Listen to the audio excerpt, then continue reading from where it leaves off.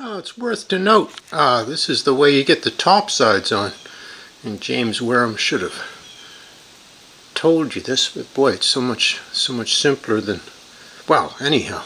Attach this one first, bulkhead, the, the big bulkhead, this guy, mid, midship bulkhead. Attach it with a wood screw right there. And I put a little cleat behind it and put a screw here too, just to hold that nice and secure.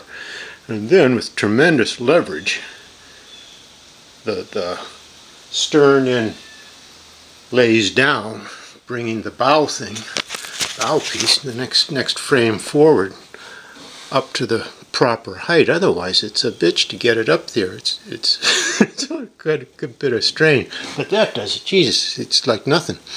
And I put this uh, put this cleat across the, screwed it onto the top of the frame, and uh, you can clamp it right down to place and, and, put a screw in it there. And then you can do these screws along here. And you come back here, back to the stern, you still got tremendous leverage. It's fixed up there at the bow.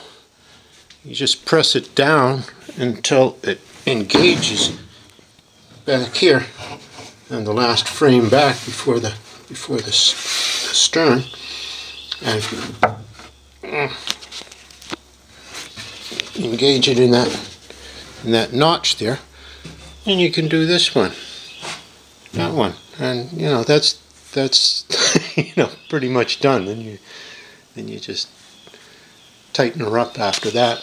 But boy it works a whole lot better than messing around with a bunch of copper wire. Shoe shoe uh, shoestrings and stuff. Okay, that's that's how you do it.